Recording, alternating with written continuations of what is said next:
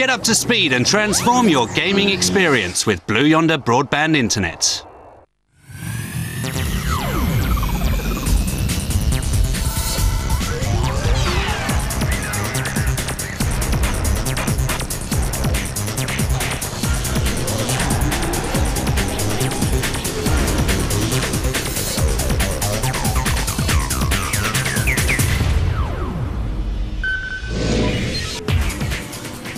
Welcome to Gamer TV. Coming up, we'll be looking at the latest technology for the small screen, and Tommy Tallarico takes us on a journey into sound. The music's gonna, you know, get your blood going even before you know what's happening.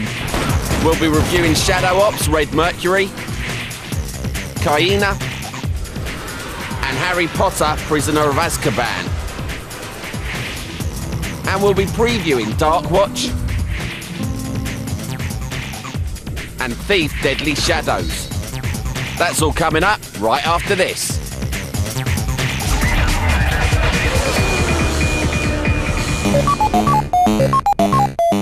Ever loved a game so much that you wish you could be in it?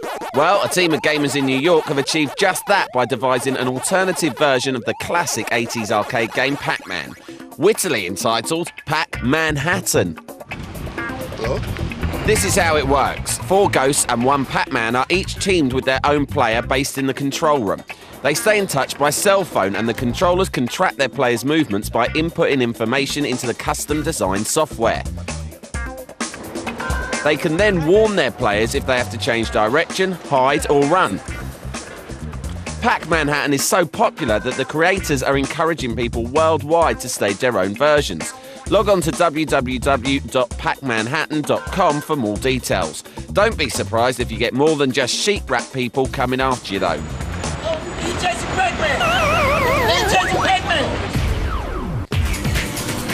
More news later in the show. Time now to unveil the newest games on the block. Coming up, we sneak around with Thief Deadly Shadows. But first, we're on Darkwatch.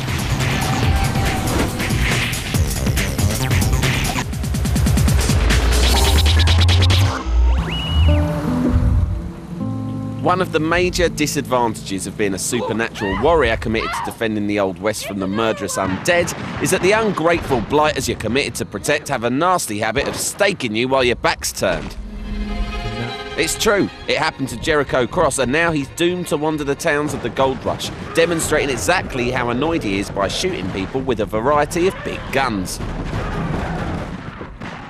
Not the subtlest of plots, is it? Well, never mind. Darkwatch is a violent mixture of cowboys and monsters, and as a result, can be forgiven almost anything.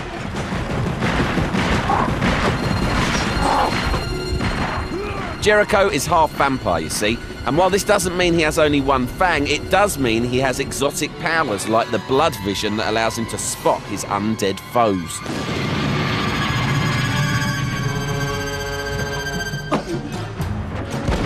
What else will there be? Well, guns for a start, and lots of them. No first person shooter would be complete without shotguns and sniper rifles and make an appearance before they were invented. Surely, grenades are here too.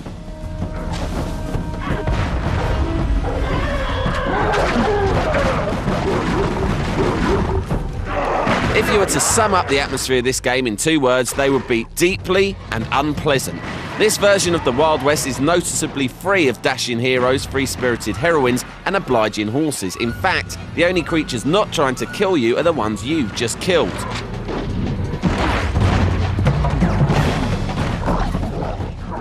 If you've room in your heart for yet another horror soaked blaster, you may well want to investigate Darkwatch on its release next year. A review will follow soon.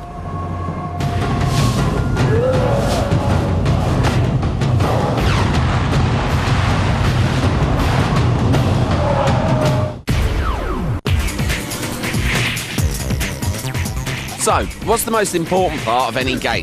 Graphics, playability, longevity? Well, some would argue that the sound is equally important, like this guy. Listen up, Tallarico's talking.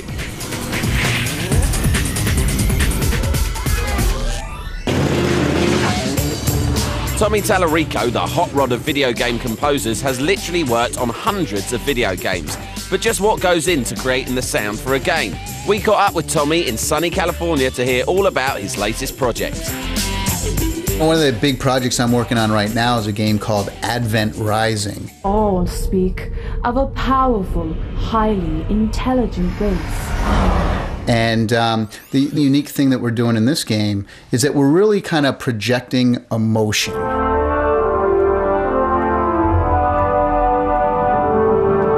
Going to cue the music when certain things happen or when certain people are about to appear. So the music's going to, you know, get your blood going even before you know what's happening. So it is true then. We're creating different motifs and using certain sounds for different characters in the game.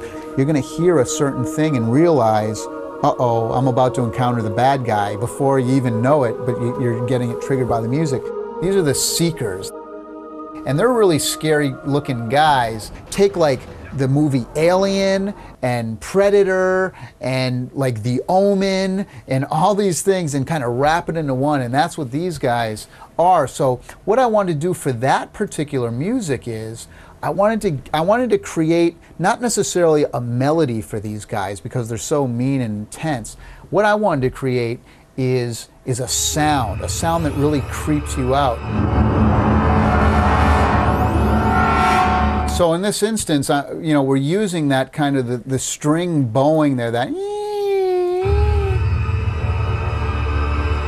know, and that now kind of becomes our motif or the instrument that we now associate with the seekers. This is nonsense.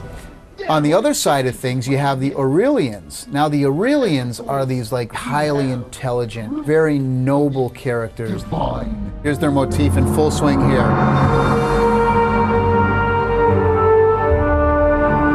I, I thought of like, you know, horns, um, because that's a very kind of noble type instrument. A lot of French horns. And now, when we want to take it to a battle tune,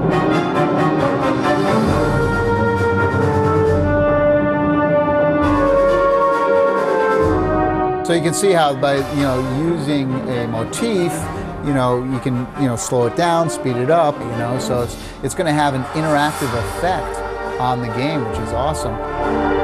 But writing the music isn't the only involvement that Tommy has with the video game. One of the things that Tommy Tallarico Studios does that's kind of unique is we offer the complete solution.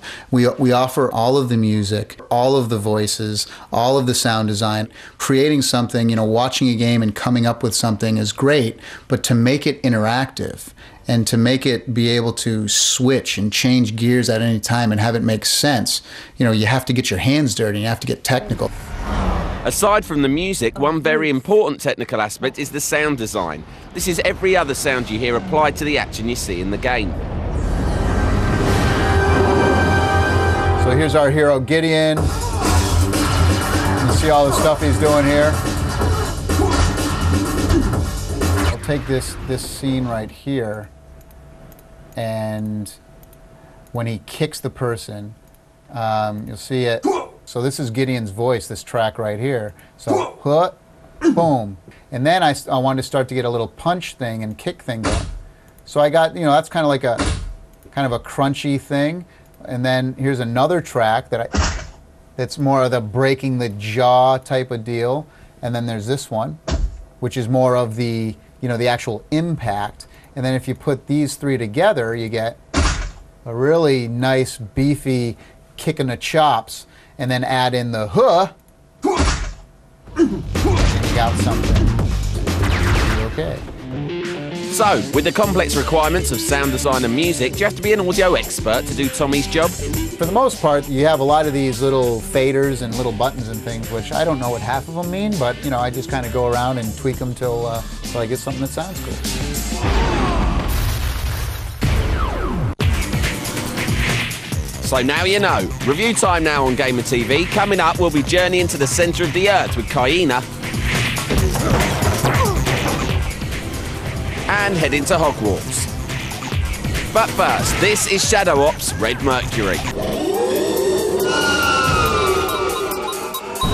Word to the wise trust no one. There's no shortage of first person shooters for the Xbox, so gun toting new arrivals have to be pretty special to get noticed. Atari's Shadow Ops Red Mercury has now marched onto this crowded battlefield. Has it got the vital killer instinct? Campaign mode casts you as Captain Frank Hayden, a harder still Delta Force operative who must undertake another world saving counter terrorist operation. The CIA's Special Missions Unit has headhunted Big Frank to track down the notorious Red Mercury, a substance that gives nuclear warheads an extra devastating kick, like atomic Tabasco.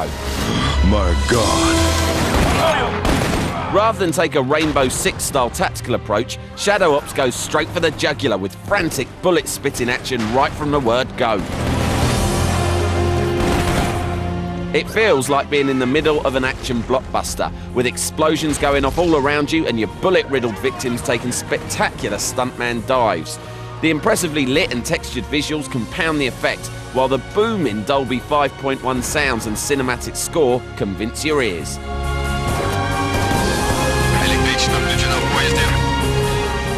Extensive live multiplayer options are essential for Xbox shooters these days. Red Mercury delivers free for all or team deathmatch. Capture the flag and escort the VIP modes accordingly. These are also available split screen along with 10 cooperative missions.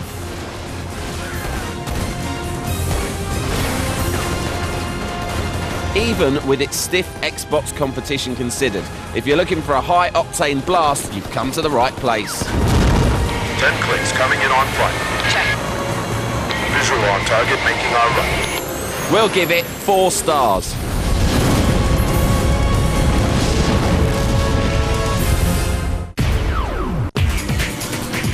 High marks for Red Mercury then. Let's see if Kaena can maintain the standard.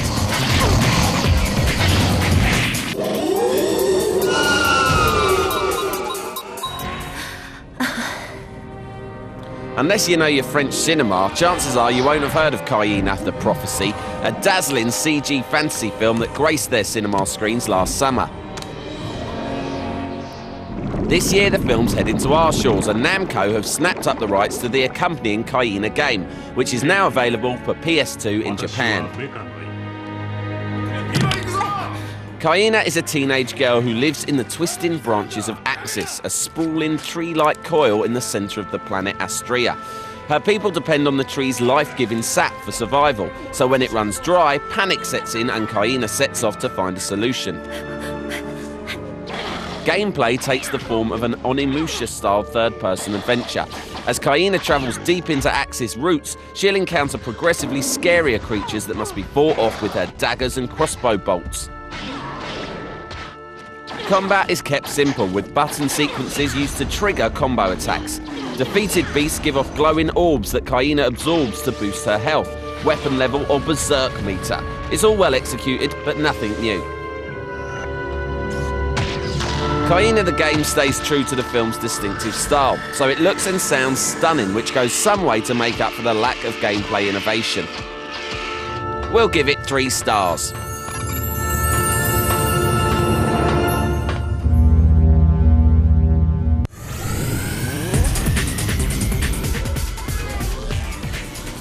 Still to come on Gamer TV, we go techno with the latest on offer for the mobile world. And we get a first look at Thief Deadly Shadows. See you after the break.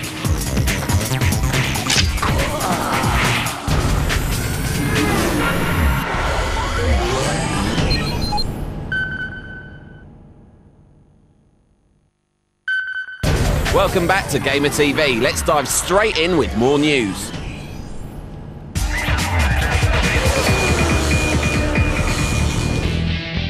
You don't need to sweat axle grease and drink pure petrol to know that there's a racing game coming soon. Gran Turismo 4. Surely no other racer can beat this beast. Well, Konami's Enthusia Professional Racing is going to have a go. The finished game promises hundreds of cars, various track environments, and a very intriguing feature called VGS, or Visual Gravity System. Demonstrated at a recent press conference, the VGS shows where and how much G-force is affecting your vehicle, allowing for a realistic physics engine. But will all these fancy features make Gran Turismo 4 eat dust? Hold out for Gamer TV future previews.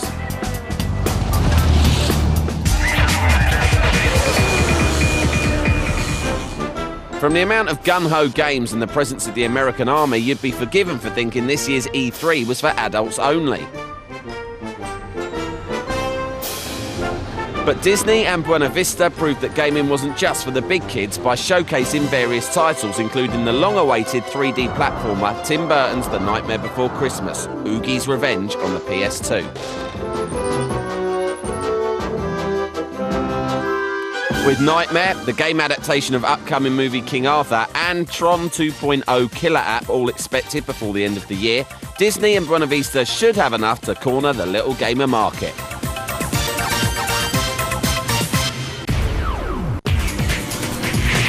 And we're staying with the Junior Gamer theme for our final review. Time to dust off that wand for Harry Potter and the Prisoner of Azkaban.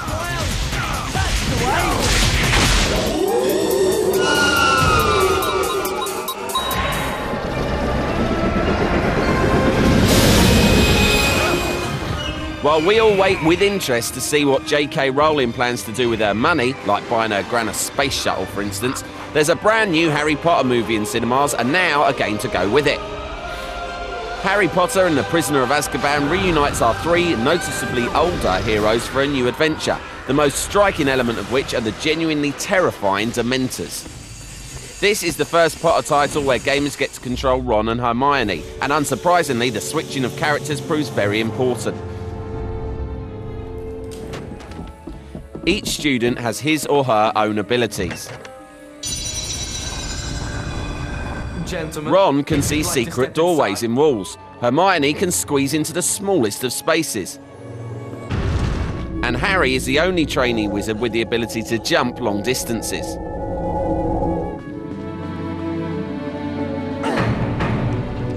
This is a puzzle game at heart, and some levels in Hogwarts, which now seems the size of the Death Star incidentally, are merely stylish chains of cogs, blocks, and mirrors.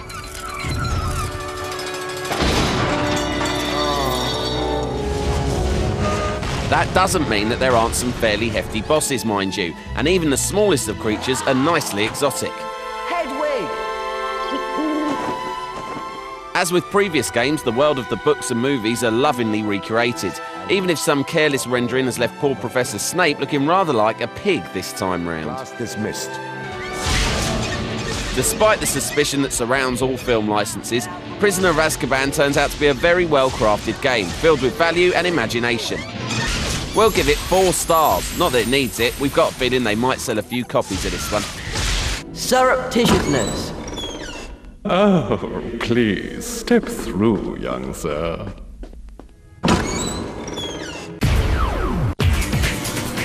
That sounds better than the film.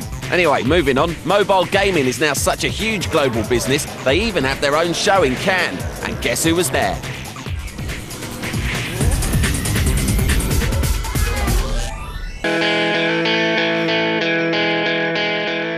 Welcome to Cannes, the host of the 3GSM Expo, the hottest mobile technology show on the face of the earth. Girls, gadgets, and games, 3GSM had it all. It even had its own fashion show where the latest in cutting edge technology took to the catwalk. But gaming on the go was the order of the day, with many of the major developers in the mobile gaming industry unveiling their latest titles. With the impending release of the N-Gage QD and interest in mobile gaming rising, have mobile phone games grown up at last?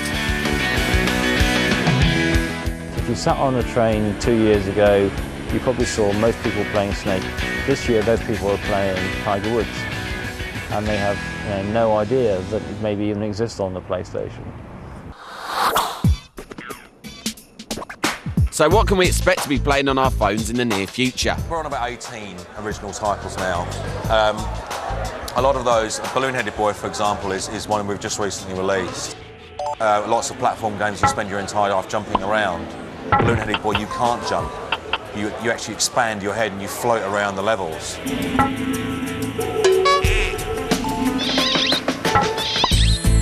Um, other products we've done, Phantom Mansion is an example. It's a, uh, more of an adventure title, kind of puzzly adventure title.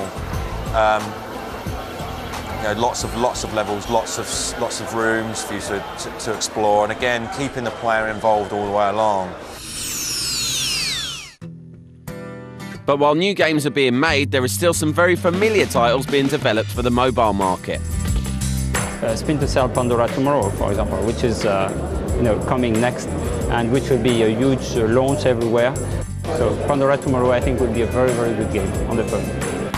The license-wise, we've just done a product with, with Digital Bridges for the uh, the Fast and the Furious license. Um, it's got a lot of features that, that are in the film. Vin Diesel's in there somewhere. You know, he pops up and asks you to race.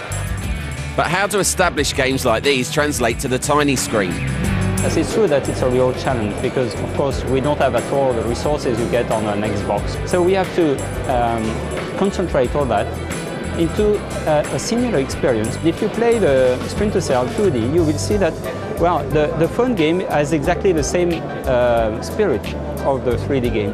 And I think it's what really counts.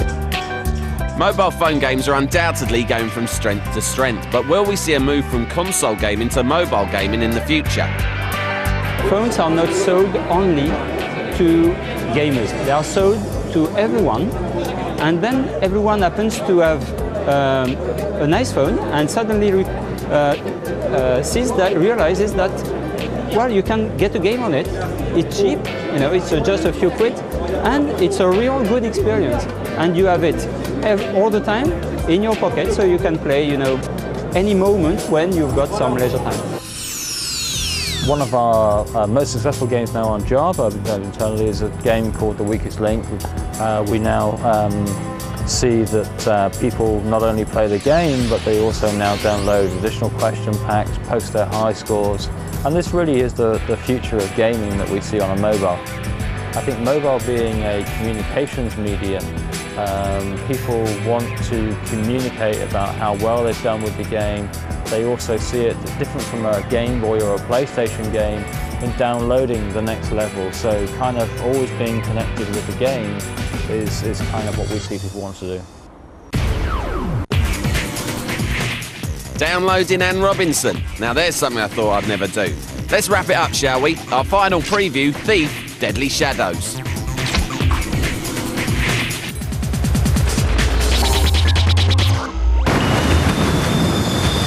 It wouldn't be terribly difficult to work out how much sneaking around would be involved in a game called Thief Deadly Shadows, would it? Answer loads of sneaking around. In fact, almost entirely sneaking around. Our hero, Garrett, has to be the least seen video game character since someone suggested the Pauly Shore FPS. It is looking rather fun, mind. This, the third instalment in the series, provides our swiping protagonist with rather a lot of handy gadgets. For example, there are water arrows to extinguish lanterns and fires, flash bombs to blind would-be pursuers, even enhanced vision to give you a better view of the absurdly melodramatic non-player characters. Be protection from the evil of the trickster, from the malice of those who would follow him in their dark forest. This will be the first Thief game where you can view Garrett in the third person. There'll also be a number of ways to play. You can avoid combat at all costs, sneaking from ladder to rafter in attempt to remain concealed, or else just forget all this noble thief nonsense and start jacking women with iron bars.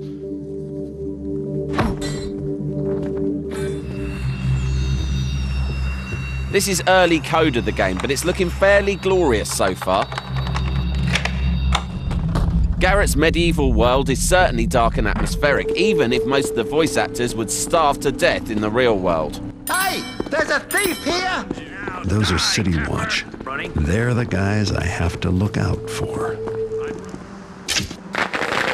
Eidos has started advertising this franchise as the forebearer of every stealth game on the market. That may be so, but with the genre nearing absolute saturation point, Deadly Shadows has a lot of high-tech competition. We'll see how it does in the summer.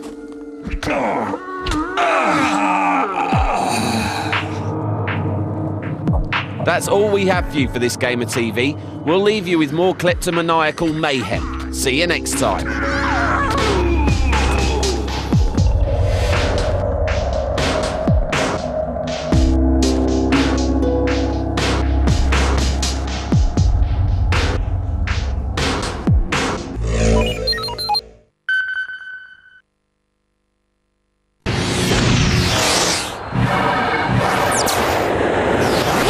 To speed and transform your gaming experience with Blue Yonder Broadband Internet.